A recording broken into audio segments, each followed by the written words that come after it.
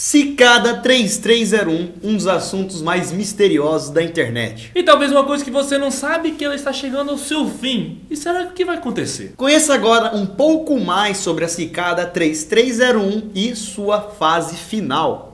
Então, puxa a vinheta.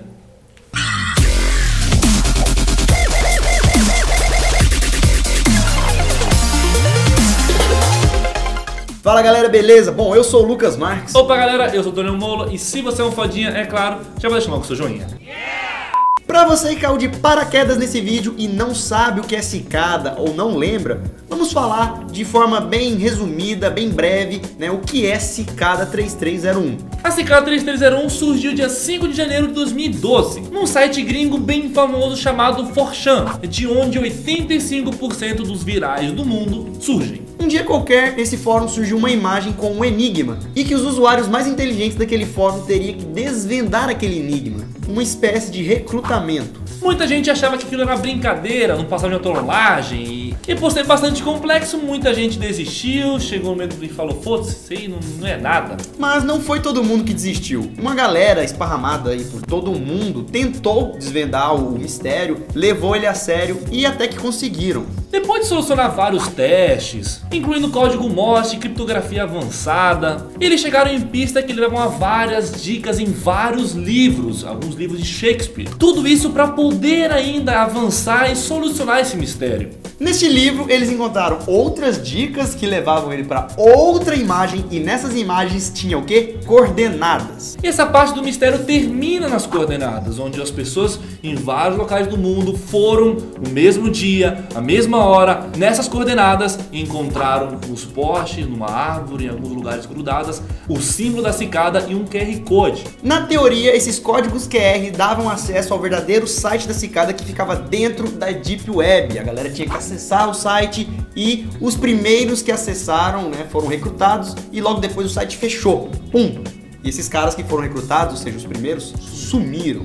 Bom, galera, isso foi um resumão sobre qual foi a primeira fase da cicada. Se você quer assistir Antes de assistir isso aqui, vamos deixar o link na descrição ou clica aqui na tela gigante aqui, onde você quiser, que você vai pro nosso vídeo sobre a cicada, que eu vou explicar passo por passo, Detalhado. para você ter noção de como é que é grande essa parada. Bom, galera, o que falamos aqui foi só um resumo para você entender como começou e tudo isso aconteceu em 2012. Mas a Cicada não foi só isso, ela não acaba por aí não. Em 2013 e 2014, a Cicada voltou com seus enigmas na internet, tentando aí recrutar pessoas. E o interessante é que em 2014 ninguém solucionou o enigma. Ou talvez publicamente ninguém solucionou, né? Não sabemos Não ainda. sabe? Como esse enigma de 2014 não foi solucionado em 2014, ainda tem muita gente em 2015 tentando solucionar publicamente, porque é, toda a resolução do enigma é feita num fórum. Então até hoje tem gente tentando descobrir. O de 2012 e 2013 você vai encontrar tudo se você pesquisar. Agora o de 2014 não tem. E pra quem não sabe, o quarto teste desse ano já foi inicializado e até então ninguém é, descobriu muita coisa. Parece estar muito mais difícil ainda do que o de 2014. Bom galera, então vamos analisar a fase final da cicada. Ao decorrer dos testes realizados em 2012, 2013, 2014, foram descobertas várias dicas que dizia que a cicada possuía apenas quatro fases. 2012 começou, então primeira fase. Em 2013 temos outra fase solucionada. Segunda fase. 2014, mais uma que não foi, né, até então a galera acha que ninguém solucionou. Terceira fase. E esse ano, 2015, temos a última fase, a quarta fase. E de acordo com a teoria, ao finalizar a quarta fase da cicada, eles colocariam em prática o projeto deles. E aí que a porra começa a ficar séria, né, meus amiguinhos? Que porra que vai acontecer?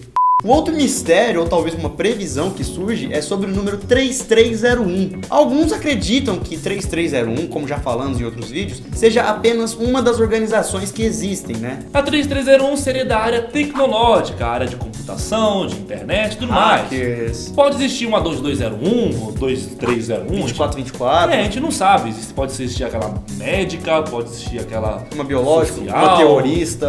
A gente não sabe. Mas existe uma outra teoria bastante interessante, né? Pra quem acredita em simbologia, em números e tudo mais. Vamos lá. 3301. Se somarmos esses três números, que número dá? 7. 7, que é um número bastante importante Claro. pra quem acredita aí nessas Numerologia. Exatamente. E segundo a teoria, 7 é o número máximo de membros que a cicada estaria recrutando. Vamos lá. Você lembra do primeiro teste? Várias pessoas descobriram o primeiro teste, foram até lá, mas só foram recrutados os primeiros que entraram no site. Em 2012, três pessoas que estavam envolvidas na solução do, mistério sumiram. Então deduzimos que já foram três. Selecionaram três pessoas. 2013 foi uma fase mais tranquila que a de 2012, então três pessoas também passaram. Em 2014, a terceira fase, ninguém conseguiu solucionar. Então temos zero. E a ideia é que 2015, né, a quarta fase, pelo menos uma pessoa consiga solucionar e entrar. Então, se a gente pensar 2012, 3, 2013, 3, 2014, 0, 2015, 1, 3301.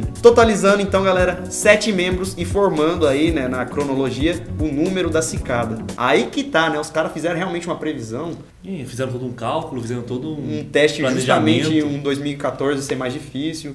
E levando em consideração a última fase da cicada, em 2015, aí que entra o famoso John Titor. Antes de tudo, para quem não sabe, John Titor é uma lenda, é um cara que pode ter existido ou não, bastante famoso na internet, né, conhecido como viajante do tempo. Um cara que veio do futuro pro passado para tentar mudar aí alguns acontecimentos do futuro. Alterando assim algumas guerras que poderiam acontecer. E uma das coisas mais famosas deixadas por John Titor é que em 2015, este ano, ia acontecer alguma desgraça, alguma guerra, coisa que poderia acabar aí com um terço da população mundial. E coincidência ou não, o último teste da cicada é esse ano, 2015. E pra quem não sabe, galera, John Titor é um cara que veio do ano de 2036. Antes dele vir pra época atual, ele foi lá pro passado, em 1975, para buscar um computador, né, um IBM 5100, para poder salvar o mundo lá em 2036. E por incrível que pareça, em 2036 já está confirmado pela NASA um gigante asteroide colidir com a Terra. E esse asteroide é tão grande que pode até mesmo causar um apocalipse.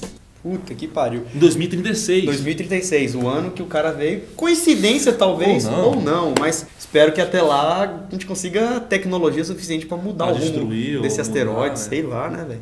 Já que vocês agora entenderam quais são as teorias da conspiração que rolam em, em torno dessa última fase da Cicada 3301, vamos falar agora sobre um pouco do teste desse ano. Pra quem não sabe, ele já tá no ar há alguns meses, não é coisa de hoje não, já tem alguns mesezinhos que já saiu e a galera que, que estuda sobre mistério, enigma, já tá lá, né, tentando decifrar alguma coisa, mas até então eles não chegaram muito longe não. O site que teria surgido na Deep Web possui somente a imagem da cicada, um texto e um link que te manda para outra página. A mensagem diz Your Journey to Ja Maniga e pode ser traduzido para Sua jornada para Ja, meu mano.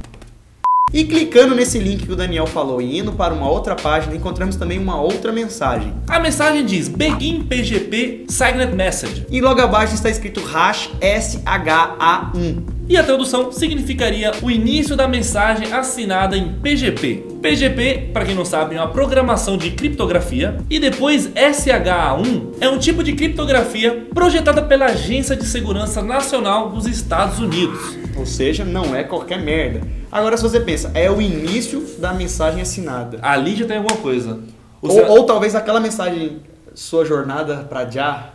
Quando a gente falou que a galera não foi longe, não é que a galera ficou por aí, não. Conseguiram identificar algumas outras coisas. Através desse site, né, mexendo no código-fonte e tudo mais, eles encontraram ali escondida, criptografada, uma URL que levava para uma imagem toda cinza. O tamanho dessa imagem era 1650 por 1650 e por coincidência ou não, se somar 1650 com 1650 dá 3300. Não dá 3301, mas dá 3300. Nessa imagem teríamos palavras escritas com aquela fonte Wingdin, aquela fonte famosa, né, do Q33NY, É, os dados do aí, Jesus. teoria de conspiração, É, né? todo, mundo, todo mundo que manja de teoria de conspiração sabe qual é essa fonte. E se você não conhece, é aquela fonte do Word que funciona só com símbolos. Bom, então os caras pegaram a escrita, escrito nessa fonte, e traduziram para uma fonte qualquer para descobrir o que estava escrito ali. E eles descobriram essa seguinte frase que está aqui na tela, que eu não vou falar para vocês porque eu não sei falar em latim. Que traduzido do latim para o português significa: E este é o melhor momento para caçar. É a última palavra. Será que então agora não tem mais enigmas em frases? Porque até então já surgiram três frases. Né? O que, que você acha? E para quem entende um pouco de criptografia dentro da imagem, quem arrastar ela para o desktop e abrir ela como bloco de notas, vai ter lá embaixo uma linha escrito isso. The key is my number e uma sequência de números e letras. Então, se você entende de criptografia, pega esse número aqui é, e tenta aí, Tenta sei lá, coisa, ver o pô. que você consegue. E juntando com o bagulho lá no começo. É, lembra das última frases. palavra. É a última palavra. Ele fala a última palavra. E, a- e antes era é o início. É o início da, Da- assinatura Da assinatura. e depois é a última É palavra. muita coisa, mano. Será que essa vai ser uma cicada mais filosófica? Será que. Baú de já, né, mano? Os caras filosofou legal. Algumas pessoas também conseguiram encontrar alguns códigos que levaram a outros arquivos sonoros, com alguns ruídos, barulhos. Parecido um pouco com a rádio VB, né? Com códigos morses e até mesmo músicas tranquilas, mas que em certo momento da música tinha. Ou Código seja, Morse. um código Morse ligando ali no momento da. Aí o cara vai ter que pegar a partitura da, da, Da música. música. Mano. E aí, É. damos de presente aí pra vocês a Cicada 3301 Fase 2015 e vamos ver o que tem pra vir aí, né? O que, que vai acontecer nesse ano. Eu acho maneiro essas paradas, acho maneiro pra caralho.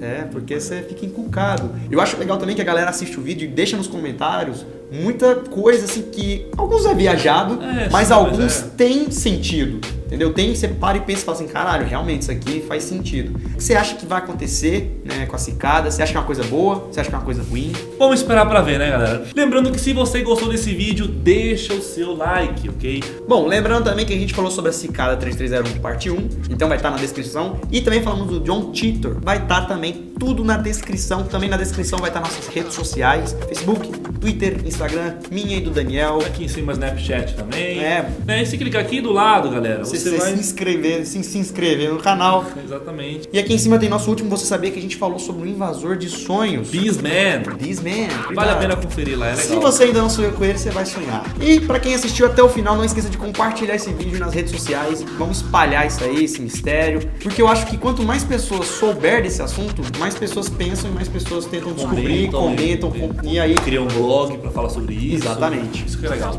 E isso tudo, pessoal. Valeu.